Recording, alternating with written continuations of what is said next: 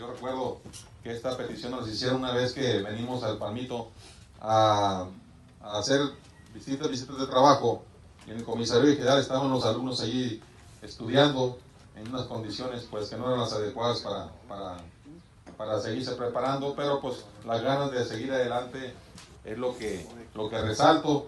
Y al final de cuentas pues se nos solicita el apoyo con esta, con esta aula, la cual nos comprometimos y aquí está hecho una realidad, los compromisos se cumplen. Y creo yo que la educación es fundamental para el, para el desarrollo de los pueblos.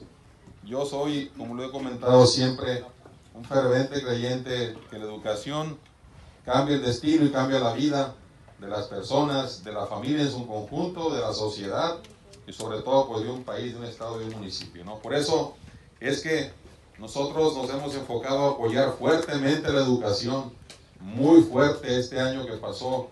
Hemos hecho una inversión millonaria, pudiéramos decir, en educación como nunca en la historia un presidente municipal lo ha hecho.